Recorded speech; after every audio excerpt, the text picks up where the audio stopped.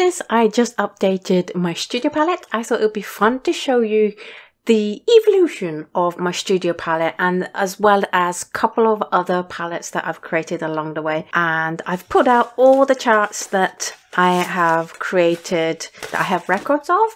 So let's get started with that. First one is this palette here. Let's ignore the one underneath because that was just a rough note.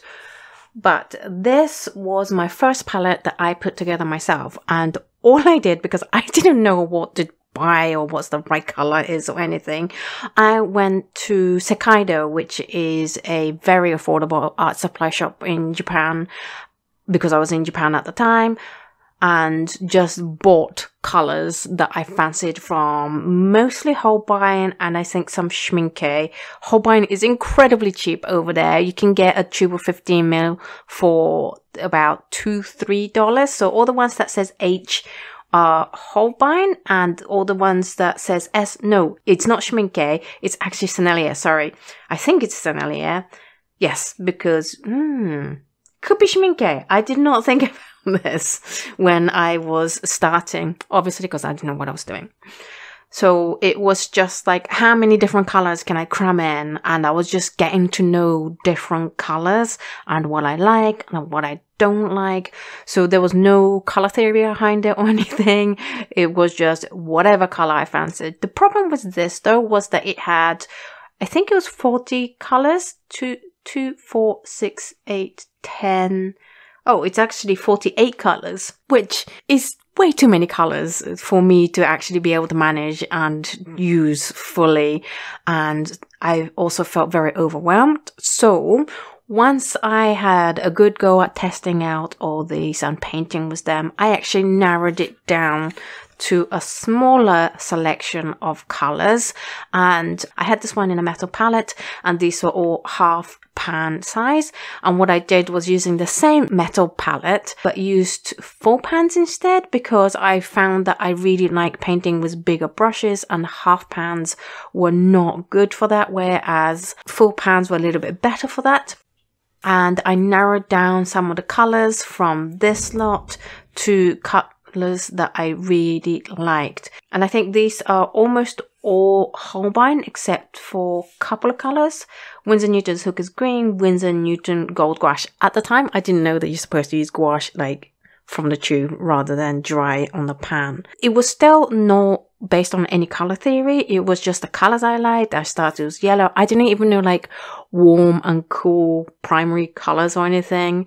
I just picked the colors I liked, but I think it did pretty well. I can see that I have a cool yellow and a warm yellow, a warm red and a cool red round here.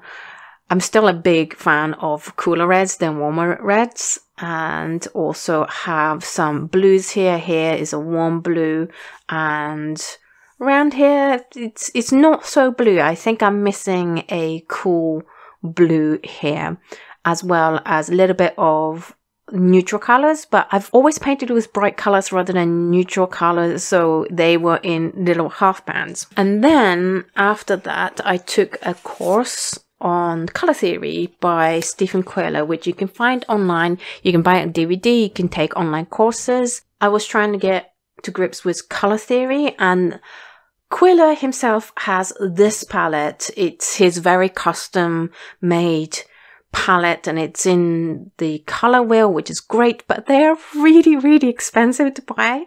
And I was not going to spend that much importing because at the time you couldn't get them in the UK. You can nowadays, but back then you couldn't. And it was ceramic and it was super expensive, both the cost as well as the shipping to UK. And I was like, it's ceramic. I don't want a broken.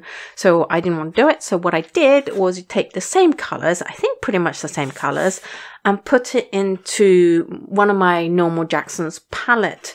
So you can see we have cad yellow light, Naples yellow, cadmium yellow mid, which is over here, cadmium yellow deep, which is over here, cadmium yellow orange. Yeah, that's cadmium yellow orange, permanent orange. And I didn't have the exact colors that he had because I think he has his own brand colors. So I just got the ones that had the same name or as close as possible to it. And this had 28 colors. This holds 28 colors. So I was managed to squeeze all the colors in around the palette. And this is where I started to organize the palette around a color wheel and have a little bit of color theory behind it. And this is also when I came up with the idea of labeling the complementary colors. Obviously, this palette is not my idea, but I found it really hard to figure out, right, which color was complementary because here it's the complementary colors are supposed to be opposite each other. But I didn't have that luxury of being able to just go, oh yeah, it's here and here. So I needed a way to still keep track of the complementary colors. There it was uh, one, two, three, four, five, six pairs. So I was like, okay, I'm going to label this A and then bracket A, B, bracket B. Oh, at this time, I was actually just labeling it B without the bracket, C, C, D, D, E, E, F, F, and that made it easier for me to know, okay, I'm using this color, I need to use this color for neutralizing it. After I played around with this, it had a lot of colors that really didn't call to me because these were based on Stephen Quiller's colors. So what I did was I experimented a bit and changed this into colors that I liked. And you can see here that it's the beginning of what became my studio palette. And it has things like Schmincke Ultramarine Violet, Ultramarine Blue, Aureolin Permanent Yet. I don't have that anymore what else? Scarlet Lake, Queen Rose. I just took out Queen Violet, the Thalo Blue, Thalo Turquoise, but it also had colors like Thalo Green, which I never use, and Permanent Green, one which I don't use at all, as well as other colors. I was just exploring what colors I like, like Antwerp Blue, which is a lovely color. I don't know why I took it out or I never used it. And Quinacridone Burnt Orange, because this was before I learned to make colors with transparent red oxide. This was before we did that Daniel Smith's comparison episode, which I will link up here, where I learned that the transparent red oxide from Daniel Smith is a really, really good mixing color. But it is the formative years of that palette. This was in 16th of February 2018. And then couple of months later, on the 22nd of March of the same year, I updated the palette again. So this is part two. And you can see that I've added more colors to it and I actually removed some of the neutral colors. And this is when ultramarine violet ends up here and ultramarine blue ends up here and it's actually still the same now because if you don't know this, Schmincke colors, if you fill a well, you're not going to be able to get that paint out again. So I've just got stuck with these two colors being there and all the other colors moving around there ever since. But I'm actually quite happy with those colors being there, which is why I've put it in the same place again in my brand new palette. So we have things like Aureolin Permanent Light, Quinacridone Gold, which I don't have anymore, Quinacridone Burnt Orange. So it was a little bit more finding homes for some of these colors that I was testing out as well as adding colors like Indanthrone and the manganese blue hue over here because I heard that they're good for doing skies with, so I was testing out. So that was version 2. And then I don't know why I didn't do it like this, but I have version 3 which was done on the 1st of August 8, 2018. So this 2018 first half of it, I was really playing around with the ideal palette for myself. And you can see that the trans red oxide makes it in because I did that Daniel Smith episode, realized it's a good one. I also swapped out some of the colors to things like vermilion hue rather than brilliant orange because I preferred this color this was too orangey for me. And if you know me, I'm not the biggest fan of orange. So I've taken out things like Queen Gold and I think Permanent Yellow Orange. I was never using it. Brilliant Orange was never using it. I threw in Queen Coral because again, I discovered the Queen Coral is a lovely, lovely color. And what else? Oh yes, Rose of Ultramarine. Oh, it was here already as well. I was mad into Rose of Ultramarine at the time, so that obviously made it. But a few of the colors had left the palette, such as the Antwerp Blue, as well as the Permanent Green one. I swapped it out for Sap Green. Uh, the Manganese Blue hue didn't make it. And then finally, if you haven't seen the previous episode of this, where I updated this, we are now to here. There isn't a record between this and this because there wasn't a big overhaul. All I did was add some neutral colors where there was space and that was about it. And then if you remember from the previous episode of the studio palette, I'll link up here. I removed all the neutral colors because I was just defaulting to Holbein because I didn't know which colors I would like, whereas I am now giving these Naples Yellow, Sepia and Payne's Grey a go instead of, I think it was Yellow Ochre, Burnt Sienna and Burnt Umber as well as I added Hooker's Green because I've done the QoR series and I fell in love with the Hooker's Green, as well as I added the Ochre because I thought it'd be nice and fun and see how that goes as well. So that is the transformation of my studio palette, but I do have other couple of charts of some other palettes that I've made in the past. Obviously, I've made a lot more than these, but these are what I have records of.